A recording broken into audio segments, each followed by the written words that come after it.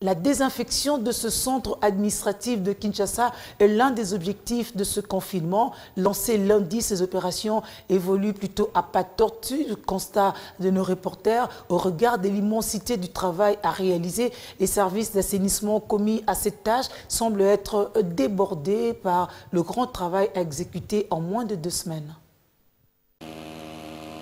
De fumigène dans les abords de l'immeuble intelligent, c'est la preuve du début de la désinfection et de désinsectisation de la commune de la Gombe en cette période de confinement. C'est par l'hôtel du gouvernement, siège de l'exécutif central, que le temps est donné par les agents de la direction d'assainissement du ministère de l'Environnement. Le gouvernement de la République n'a pas voulu croiser les bras. Nous allons profiter de cette semaine de confinement de la Gombe pour euh, faire ce même travail de désinfection. Nous avons du matériel, je le souligne encore, nous avons du personnel compétent, et bien la direction de l'assainissement du ministère de l'Environnement, ainsi que le ministère de la Santé.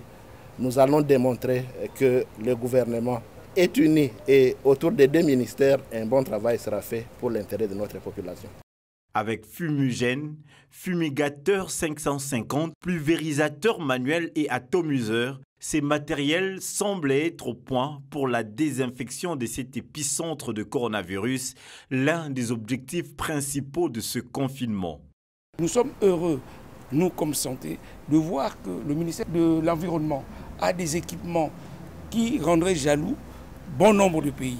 Et là, je tiens à féliciter notre collègue pour avoir acquis cet outil. Non seulement l'outil, nous avons aussi une expertise, l'expertise nationale. Lancé lundi, les matériels et les équipes traînent encore à l'immeuble intelligent dans l'attente de la suite des travaux proprement dits.